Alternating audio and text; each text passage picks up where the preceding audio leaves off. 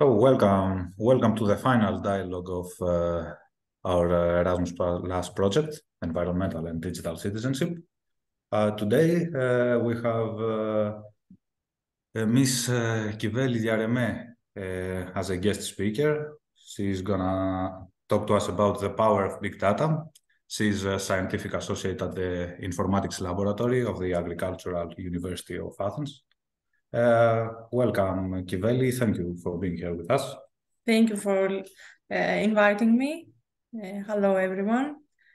Uh, I will share my screen and uh, I will do my best to convey some uh, basic information, some basic terms, because big data is can be a challenging topic with a lot of information. Um, So we only have limited amount of time, but uh, feel free to note any questions so that we can discuss them in the end.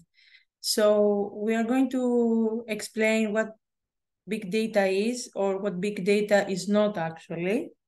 Uh, what is the value of big data, provide some examples and uh, debate some challenges that we currently have. So what is big data? Um, now, I'm sorry. This is a very popular informat- infographic from IBM, which explains some of the characteristics of big data. Because we don't have a common definition, we tend to use some words uh, known as V's in order to uh, describe the data that we have. So one of them, so we have volume, variety, velocity, and veracity. And we can uh, go back to this slide for more information, but we can we should discuss each one of them uh, individually. The first characteristic is volume. Now, bear in mind that for big data, we don't have a benchmark. So we can't say that if I have uh, 20 terabytes, let's say, this amount of data, it is small data. If I have uh, one additional uh, byte, then it's big data. We don't have a benchmark. But what we can say is that big data, of course, are characterized by volume. And nowadays, we don't have terabytes. We might use terabytes in our everyday life, but we have zettabytes, uh, proton bytes, we have uh, many other uh, metrics. Uh, in 2000, a typical PC might have had 10 gigabytes of storage. A floppy disk uh, 30 years ago would contain only one picture that our mobile phones can capture.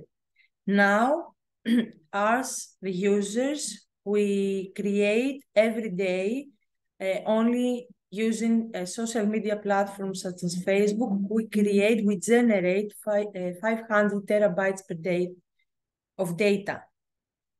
Another example is that Boeing will generate, a Boeing 3, uh, 737 will generate 240 terabytes of flight data during a single flight.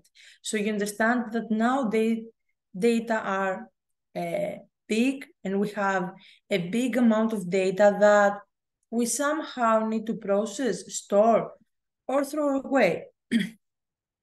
A second character, ah, before we go there, this is a small index in order to understand, uh, to get an idea of the numbers. So if uh, you all know a byte, so if a terabyte is here, it's 10 in the power of 12 bytes. A proton byte is 10 in the power of 27.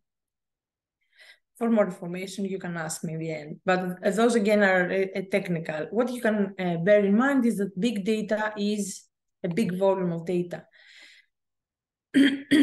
Another important aspect, sorry, is velocity. So velocity, we refer to the speed at which the data are generated and the speed at which data uh, is transmitted. So actually here we're referring to real-time data, data that come in streams from a variety of sources. So these sources can be sensors, these sources can be are mobile phones. Usually, uh, uh, velocity is attached uh, with the notion of real-time data. Another source of, uh, apart from sensors that transmit to us a variety of information, we also have uh, data that are being generated uh, without us uh, interfering. So those are data that are being generated by the generated uh, from the communication that takes place between machines. And in an interconnected environment, uh, we now have terms such as the Internet of Everything, uh, where sensors can communicate with our fridge, our fridge can communicate with our phone, etc. Machines, they develop their own uh, data. A third characteristic is variety. Variety refers to the different types of data that are captured.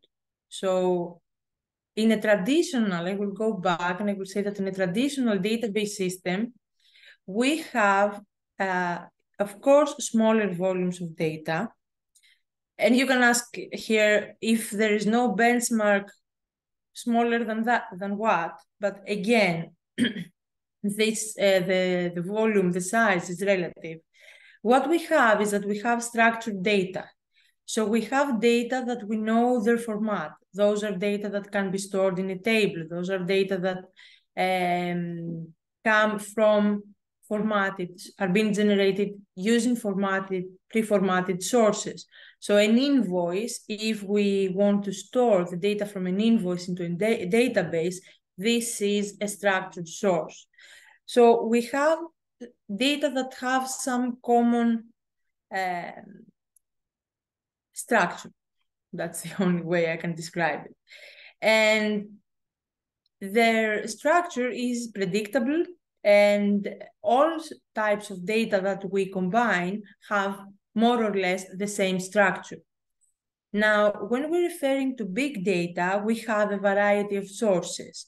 So if we go back to this infographic, you will see that we have, for example, um, information such as videos, informations that are being generated by wearable devices, wireless monitors, by our phone, uh, from the computer. We have social media, we have platforms. So all these are user-generated data. We also have data that are being uh, generated through uh, through companies, through the transactions of companies, etc.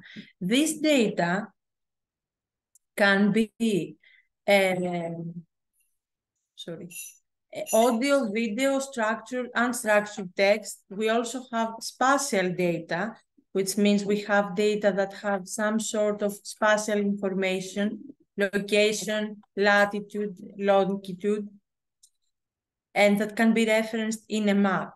All these different kind of uh, data need to be combined under a common technology. So we need to have some sort of uh, common technology, some sort of common tools in our hands that can handle all these different types of data.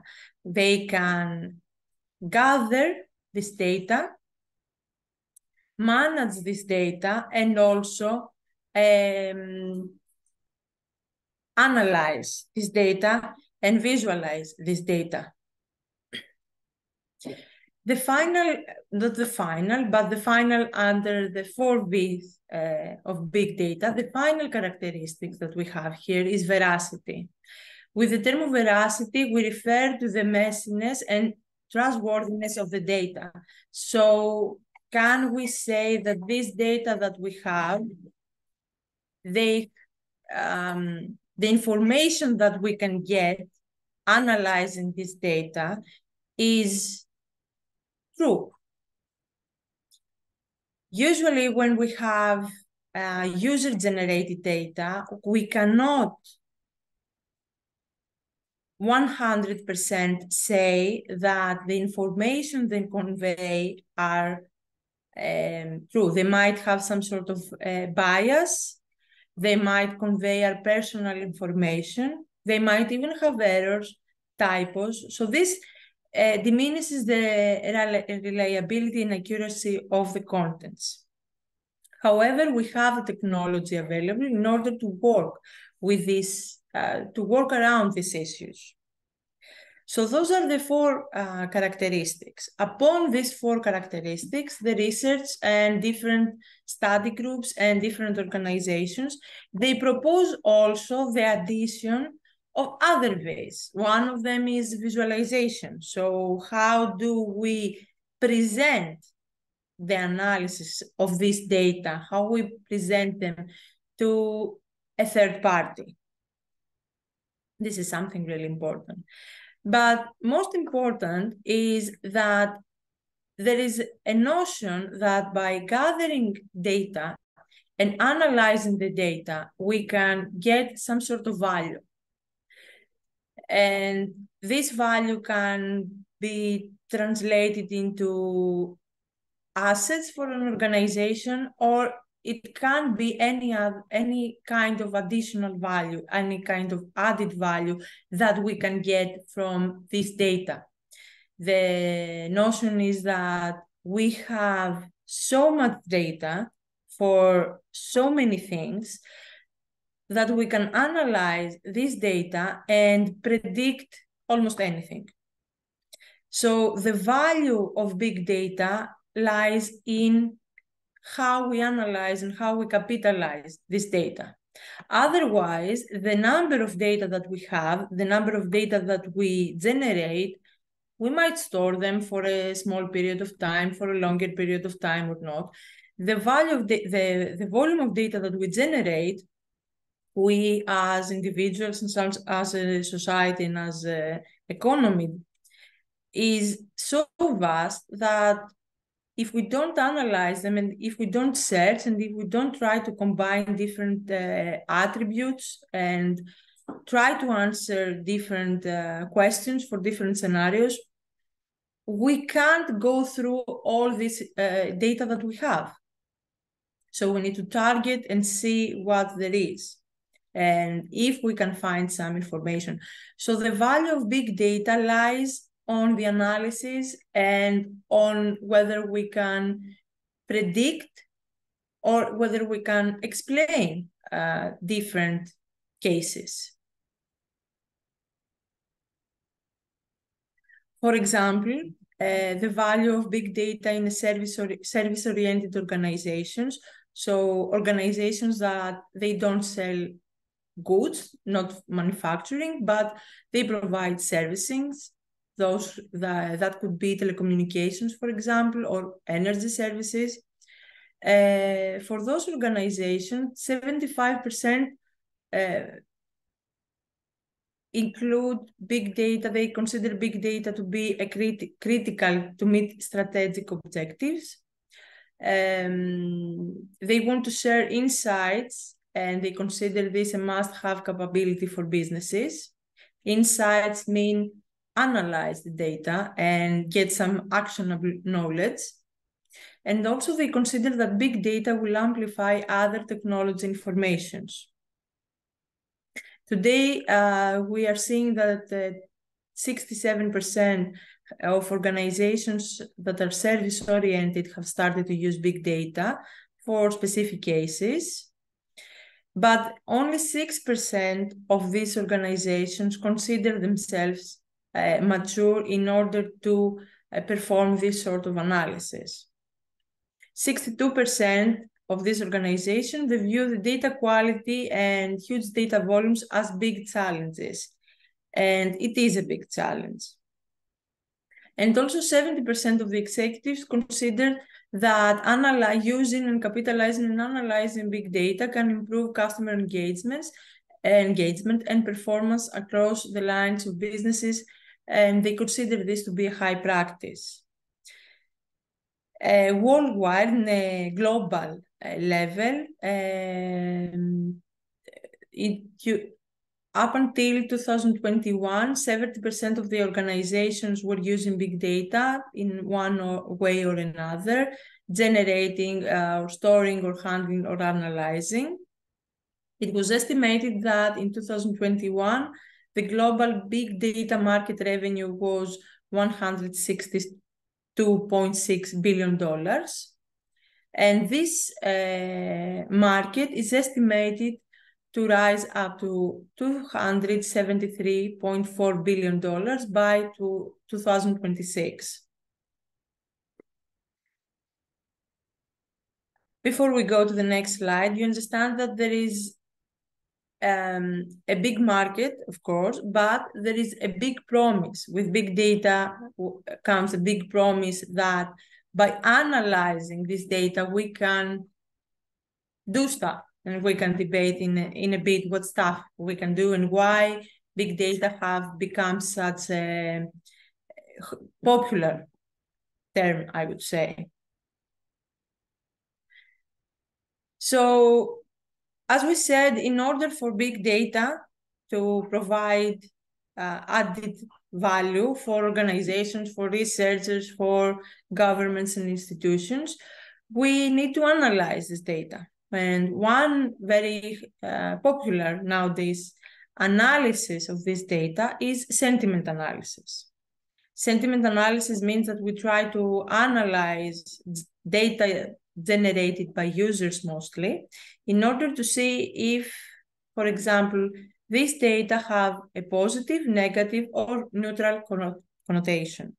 For example, uh, if we are referring to reviews in um, in eFood, for example, in a platform where we can order food, we could analyze, and this type of analysis are taking place uh, in a, a variety of platforms and by a variety of researchers uh, we can analyze the comments and we can understand if a comment is posi uh, positive, negative, or if it is neutral. So, for example, here, this sentence says the pizza is really good here, but the service was low. So there are two parts of this uh, sentence. One that has a positive sentiment and a good attribute, uh, also a word, a buzzword that denotes the category, which is food and drinks. But also we have a second part of the sentence, sentence, which is negative. So we say here, but the service was low. This type of uh, analysis is really important for businesses because we can businesses can predict um, how consumers react or will react or understand how consumers reacted, for example, in a new product, uh, really fast, faster than it would take to conduct a traditional survey. So we have more immediate response. Uh, also, sentiment analysis you might have if you follow this uh, type of news and research news, you might see this as natural language processing. So how do we use computers and computer science and technology in order to process and analyze natural language and natural text?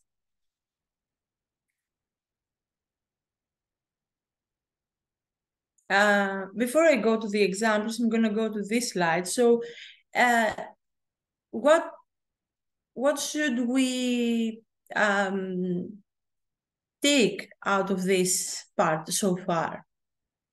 So one thing is that big data is not one specific thing. We don't have benchmarks. We can't see a piece of data and say this is big data and this is not.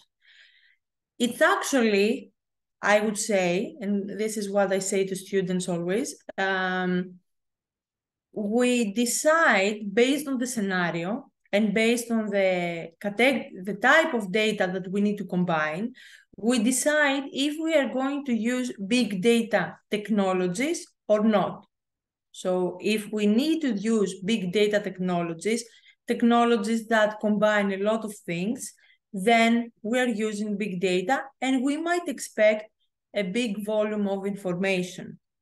So in a big data, I would say environment, technical environment, we would have some sort of technology to store the data. And some of these uh, technologies are uh, databases such as MongoDB, Cassandra, Hadoop. We also have technologies to mine the data, to extract data. So if back in this example, uh, in the reviews of food and drinks, we need not only to analyze, but before we perform the analysis, we need to get the data from the website. So we need some sort of scrapping, web scrapping mechanism. So we need to mine the data. And here in, in this part, we have a process that is called ELT, extract, load, transform. We need to get the data, clean them, and see how we can use them.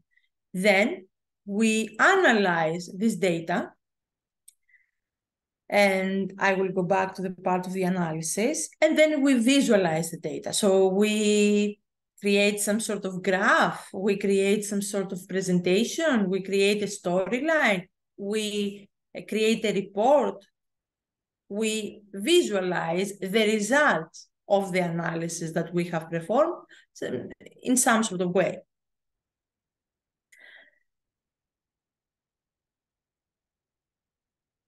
And to get a better, better understanding, uh, I have three examples from different industries.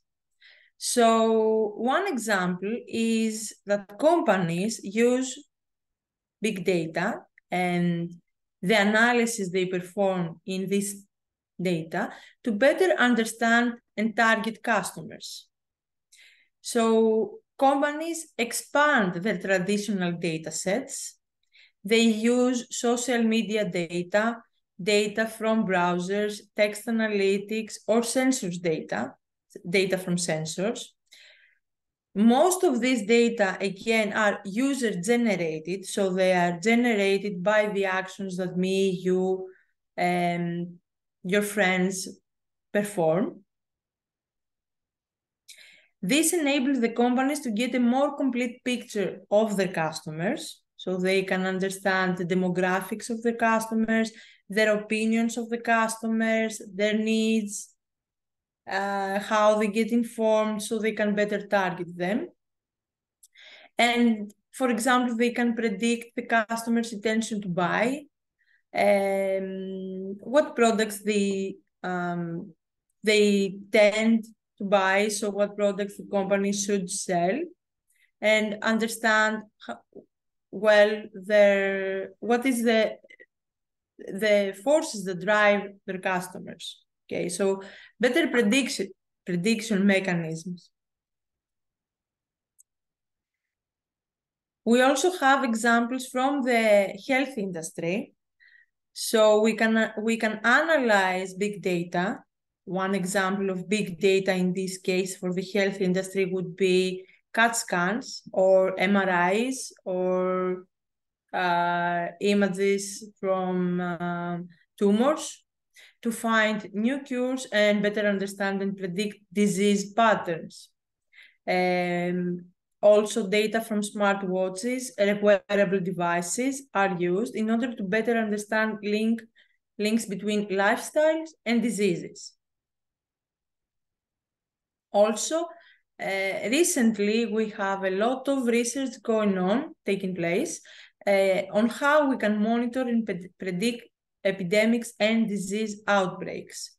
Google has uh, released um, for the, is has um, gathering is gathering data and releasing these data under the term uh, Google Mobility Reports, and those mobility reports uh, have data from all the countries, and those have been used during the COVID pandemic in order to create prediction models uh, for several countries based on the uh, mobility of citizens. So in Netherlands, they, ha- they had cre- they created a model that would predict uh, outbreaks of uh, new COVID outbreaks based on the mobility of citizens in parks. So there are a lot of uh, research uh, results similar to that.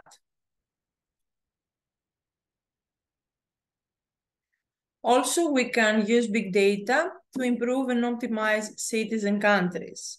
So we can improve uh, many aspects of cities and countries. We can allow cities to optimize traffic flows based on real-time traffic information, as well as social media and weather data.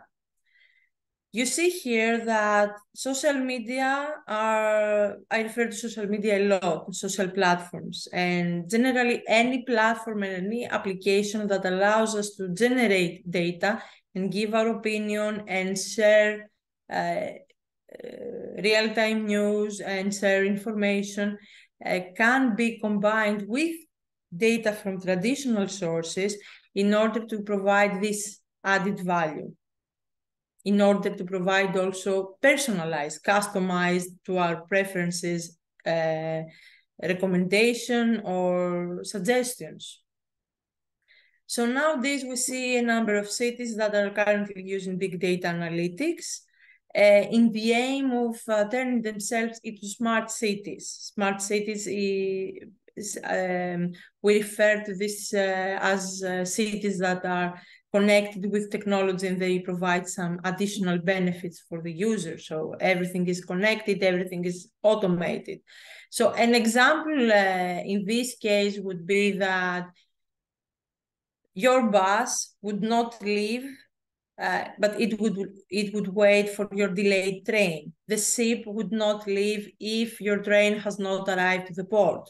Those are everyday practices that we can consider. Uh, if you are in an automatic uh, vehicle and there is traffic, if you have a GPS system, now you are redirected. How you, are you redirected? How does Google Maps recognize that there is traffic? Because of the data that are being shared. And these data are generated by users, and uh, this data is being shared over the internet, and then you get the information to not to avoid a specific route and follow another route.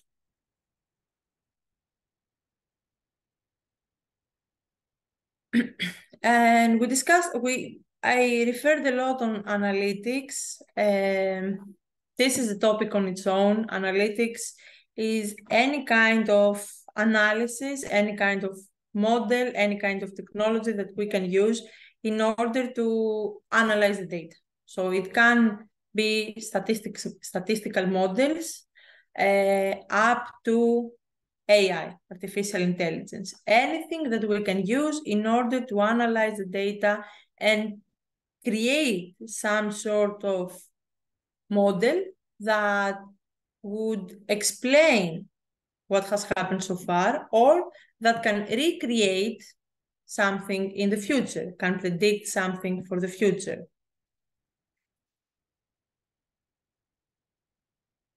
Of course, with uh, anything, any field, uh, we have challenges.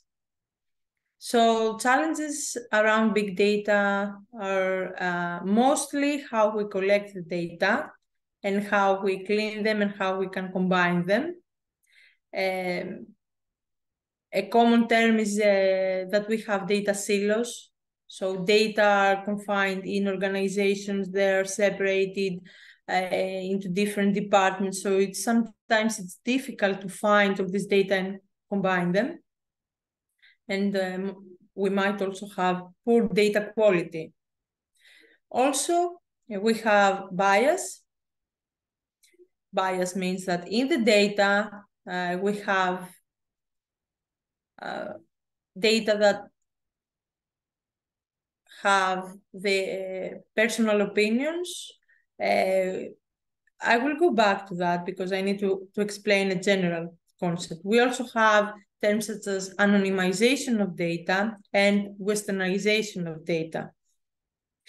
Now, the concept here in bias and anonymization and westernization uh, in order to explain this, we need to discuss another concept. The concept is that we get data, as we said, from going back to this infographic, from a variety of sources and usually from uh, we get a lot of data from social media. We get a lot of data from wearable devices, from mobile phones. And this data, we, this data, they reflect the opinions, the um, actions, and the, the information of a specific amount of people. And then we use this data in order to provide generalizations for the entire, let's say, world or for an entire country. So the issue here is similar to a traditional situation where we would have a questionnaire, we would hand it out, people would fit, fill in this questionnaire, and then we want to get this, analyze it, and provide some sort of predictive model or an explanation for something. So the concept is the same, but when we have, when we conduct a research and we create a questionnaire, we have control over the process. Now here, people generate data, companies generate data, we get this data and we analyze them. So bias, bias on the result, bias on the analysis, lies in the bias that we might have on the data. And there is a concept that not everyone is equally represented in the data. And one of these aspects is the westernization of data. Westernization means that we citizens of the Western world, we usually use Western platforms in order to generate and find data. So if we are thinking of a project and we want to get data from social media, we're not going to use Baidu, which uh, you probably haven't even heard of, which is the Chinese equivalent of Google, but we're going to use, for example, Twitter. Okay, so we, we use Western data. So one part of the world is not included in our data. And then we also have aspects such as the digital divide, meaning that not all people have equal access to the same kind of technology in order to generate data. And so we have uh, people not equally re represented in the data. And even in uh, countries where we, of the Western world, that they don't have any digital differences between areas, we still have uh, cases of bias, uh, meaning are women and men equally represented in the data. So you understand that um, finding the correct kind of data for a research is something that is uh, can be proven challenging and you understand that providing generalizations is something that can be tricky and lies on the hand of the analyzer i would say and uh, finally anonymization of data refers to trying to provide uh, data that are anonymous. So uh, usually the data that we generate can be attributed to us. The data that uh, companies generate can be attributed to their companies, their employees, and to their users. But when we store and analyze this data, uh, it should be anonymous. And we can debate this and uh, we have a lot of uh, issues and regulations here. But this as a topic goes be beyond uh, big data and lies more to on the cybersecurity and anonymization and anonymity of the users over the internet and uh, i will end this brief introduction to big data with one popular quote from uh, Edward Deming, which uh, was a scholar, an American scholar and innovator, and uh, he's actually considered one of the fathers of TQM, of Total Quality Management. Uh, yes. And uh, what he said, amongst others, is that without data, you're just a person with an opinion. So we need also data, not only to analyze and predict, but we need data to back up our um, our story, to back up our opinions. So thank you. Uh, and uh, let's see if we have any questions and if we can discuss more these uh, fascinating terms, I would say. Thank you very much, Kyvele. Uh, I saw someone had raised the hand at some point.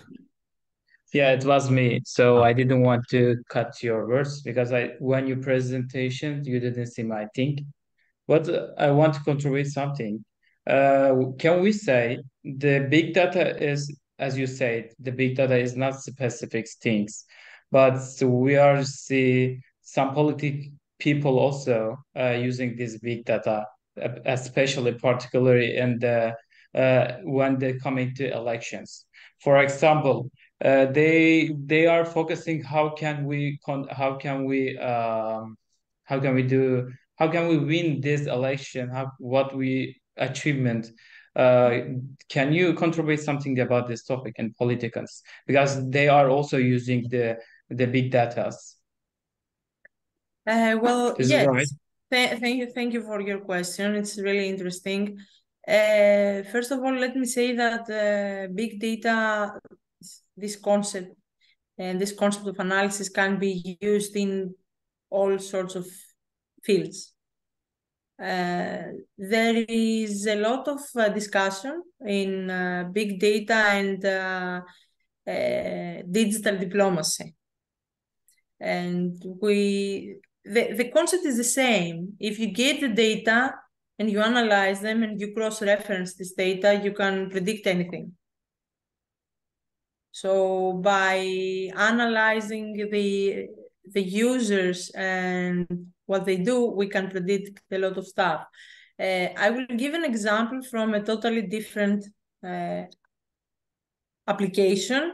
Uh, Google at some point analyzed the keywords that people uh, press on the Google uh, search engine in order to predict when someone would get the flu and they were able, at least in a research level, to predict, to create a model that predicted something accurately. Um, in Greece, we don't have a lot of examples. Going back to your uh, to your case, we don't have a lot of examples of uh, um, big data being analyzed and uh, advanced predictive models being used in order for politics, for election prediction but I know that, and we, I think that we all can bring in our minds examples of uh, Facebook and controversy over digital campaigns and how to handle elections, etc. So the, the concept is the same, okay? Data, we analyze them, we try to predict a lot of stuff. Yeah, thank you so much. Yeah, uh, may I add that, uh, yeah, what what you asked is the same way that companies will use the data to to show you in um, in ads uh, things that you have searched about uh, items, etc., goods. The same way political parts. I mean, I remember the Cambridge Analytica scandal. Yes. yes. Uh, yeah, just if you are uh, a specific profile. Mm-hmm. I mean, if you fit with a specific profile. Yeah, yeah, yeah. If you like uh, to go hunting, mm-hmm. uh, the ad that you see from the campaign will be about in America that uh, we need to protect our gun laws and our freedom to bear arms, etc. Yes. If you have a family, the Republican campaign would show pictures of a father with his two children, and we have to protect our families. Yeah, it's the same concept. It's it's the same concept over and over again. It's uh, providing some sort of personalized information. Uh, this so we have uh, one is to predict and another is to target customers. Uh, no matter what you are asked to consume, you're still a customer. Okay, so but again, the effectiveness of this analysis, so we gather the data, data is there, the effectiveness of the analysis is a tricky aspect because again we need to provide generalizations. Most of the times if it is something new we can't test it. So how can i test if you are going to actually vote this person? Can't so it's a tricky yeah. aspect and we have a lot of terms such as machine learning ai advanced analytics and a lot of models. I have a question about uh, yes. AI, but first let me ask a question from the chat, which is on, on the opposite spectrum of uh, Serhat's uh, question.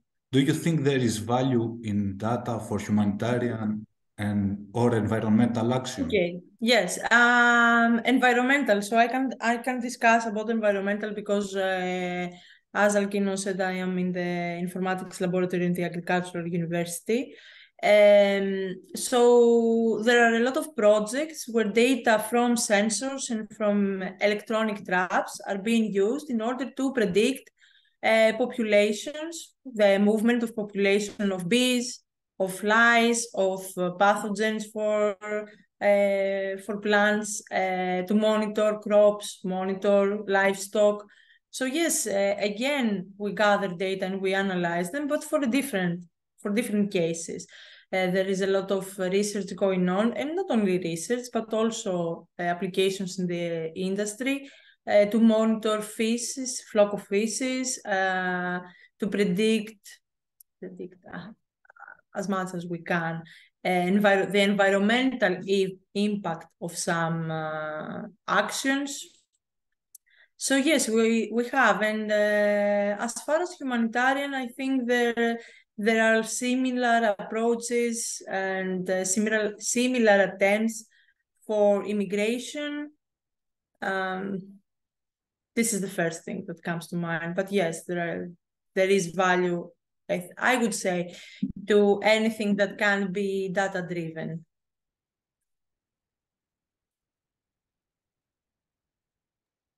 Yeah, I agree. I mean, data, the, the big data, etc., they are not evil or good. If you can use them and you have good data, you can do very good stuff.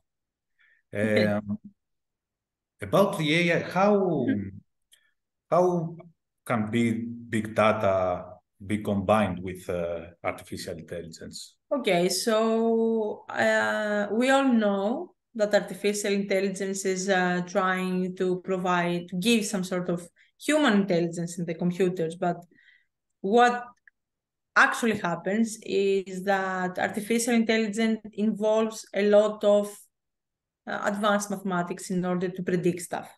That, that's the case. Okay. So we use um, parts of the technologies, techniques from the artificial intelligence field to in order to analyze this data and predict this data. And actually, AI models cannot be supported without big data. So in order to train, for example, when we have a car and we want to create a, an automatic, a program that automatically drives the car, we need a lot of photographs, a lot of information from different scenarios in order to train this automatic car. So we can't do that without a big volume of information.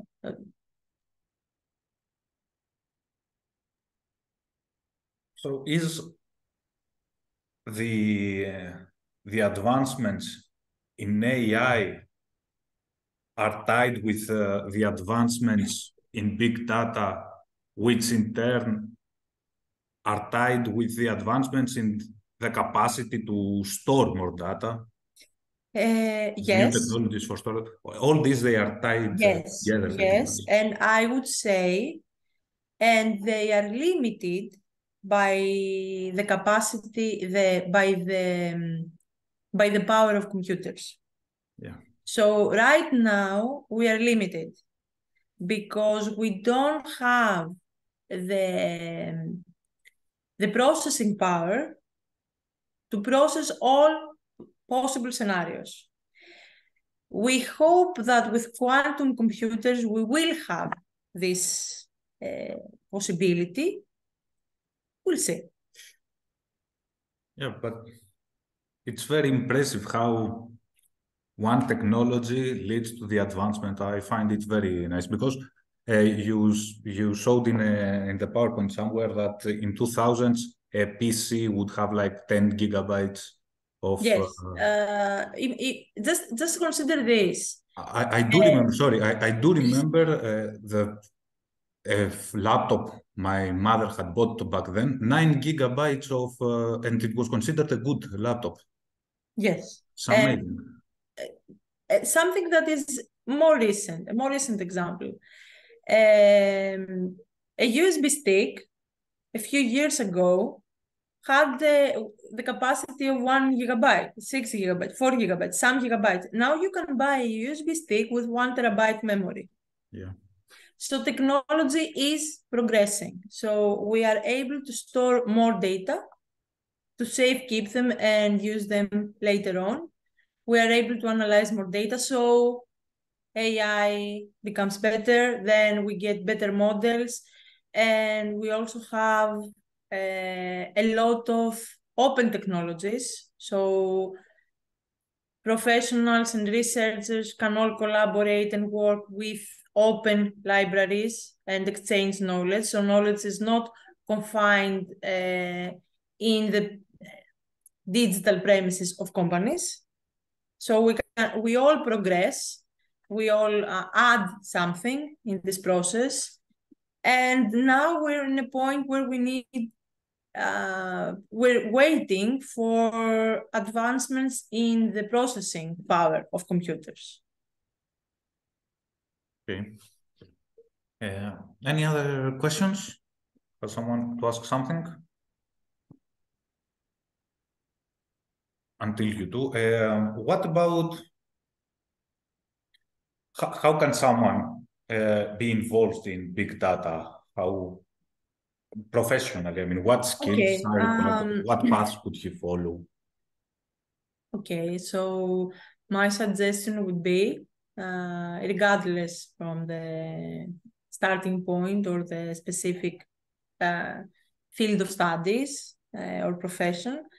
Uh, there are a lot of uh, data analytics programs that someone can follow. So the skill set, I would say, uh, would be um, know a little bit about statistics and a little bit about programming and a little bit about uh, the business needs. Or, or it could be uh, that you have some sort of specific knowledge. So, for example, maybe you are a humanitarian and you want to perform analysis for this. You are a psycho- psychologist. You have some either a general uh, knowledge about programming and data and stuff like that, or some sort of uh, really specific knowledge that you can use for a specific case. But with some some knowledge of uh, basic knowledge of statistics and basic knowledge of programming, you can start, and then you can you can proceed. You can move forward. Yeah. Uh, what about uh, you also mentioned uh, about the anonymization, the challenges. What mm-hmm. about privacy issues between business and customers, okay. uh, between um, uh, citizens? Okay, so this is a big discussion. In Europe, you, we have the GDPR, we have the General Protection Regulation that uh, makes companies uh, say respect data more. I would say. Um, Anonymization actually refers to a good practice. For example, if I have a company and I have some data and I want to, for some research purposes, give you some data, I should anonymize them first. Um, other than that, th- there is a lot of debate. So there is a lot of discussion what happens. But I need to say this: most of the data that we generate and that we knowingly provide or unintentionally provide, we have given some sort of consent. When we download something, when we accept the terms, even if we don't read them ever, uh, we give consent. And the company, any kind of company, will say, well, I have the consent, so I'm good to go. So it is something I would say we can't actually avoid. That would be my follow-up question. Uh, realistically, is there a framework in a European level, in a national level, that could uh, help with any privacy issues, or it's just a tenant since it's our fault we don't read the terms of uh, agreement? Well, in, in Europe, we have regulations. So theory, practically, you can ask a company to erase your data. Um, we can have we can have anonymity. Uh, there are ways, so we can have dedicated software in a computer. But the challenge is with the mobile phones and with the mobile devices. So this is challenging, and this is something that we can think of is uh, it's data is so many. It's difficult to in a traditional setting without the mobile phones uh, if someone wanted to know information about alkinos he could target alkinos follow alkinos and learn information the, the information. Now it's just easier. I don't think we can there are ways that we can be anonymous uh, but this involves not logging into social media, not interacting uh, with platforms, uh, not using a GPS, or avoiding many of the things that we do. Otherwise, it's really easy to yeah. give ourselves up. But my suggestion would be uh, a, a tip. Um, well, monitor your, don't hand out your personal information um, not I would say easily, but make sure at least when you have some sort of new applications on your phone that are from trusted sources. Uh, if you see some irregular activity, so for example, I once had an alarm that transmitted more uh, gigabytes than Viber. I thought that th- that was suspicious, so I deleted this alarm. So things like that. Yeah, yeah, yeah. Okay. Uh, any any other questions from the chat? Someone? Actually, I want to say something. yeah, yeah. If you have time, we have yes, time, yes, right? Yes. All right. So can we say the big data is using from the mostly from the business area? For example, Facebook or Instagram or the other shopping uh, websites because when we go search something on Google or the other websites, they are using our data. For example, our location and our hobbies and our mm-hmm. interested. They are using everything, and and then when we check something on Instagram, we saw our interested. This yes. is right, and they are using our this data. I don't know. This is uh, this is the legal, but how we can say this is ethic? Oh, okay. So ethics and computer science and anything digital, uh, there is a lot of debate. So, uh, okay, there is a trend. Uh, there's a trend. I'm sorry. Um, from the organizations to provide personalized information and to yes to the extent possible uh, what you need and what you do and who you know. Okay. So provided and also because we mentioned organizations we also expect that as users as consumers. We expect to get personalized information when you use your GPS, when you go to eFood, when you use all these things, you expect to see your preferences. It makes interaction easier. Okay, so it goes both ways. So we have this on one hand, on the other hand, we have the fact that we generate a lot of content and this can be analyzed. And then we have how ethical it is. I would say depending on the case. So if uh, it something is used to harm us or harm society or uh, for bad purposes, I would say that would be frowned upon or something that we would not want. Um, yeah, ethics in computer science is a big, big yeah. aspect. This is a little complicated. it is, it is, uh, and I also had this discussion yesterday with uh, some uh, professionals and some researchers. Uh, There's no no right or wrong question, and I said that the the following: uh, if the question was is it legal, it's straightforward. Is it or is it not? And maybe we have some legal uh, windows where we have some yeah. specificities, but is it ethical?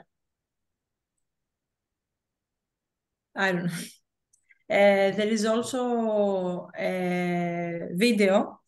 If you search on YouTube, you can find it. Uh, Google in the red line of uh, red line if you type in Google, and uh, it's more than a decade ago in a panel, and the Google CEO, uh, the then Google CEO Eric Schmidt, debated what is the red line. So, and he said, well, we want to know who you know, to provide personalized information and provide some targeted information.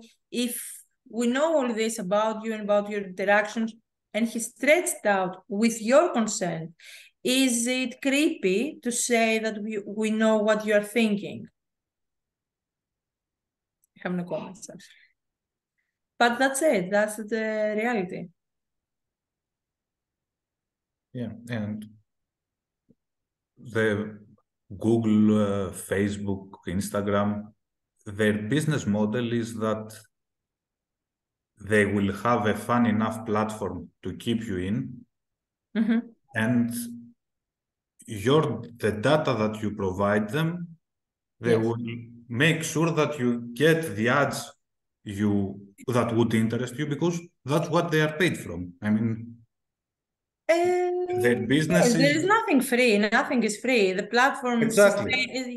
Is, their business is yes. that they will make money from the ads that they will show you. Yes. They want to keep you in the platform as long as they can so they make it better, more user friendly, whatever. But the end goal is to show you ads. So the ads. Yes, but this is this is not a new notion. The um, TV does the same. Television does the same. Newspaper yeah, yeah, does yeah. the same. Oh, well, they, they charge for something, but it's not new. The new aspect, which again, it's not new nowadays, is that we get personalized. Yeah, the magnitude of it, how targeted it is. Yes.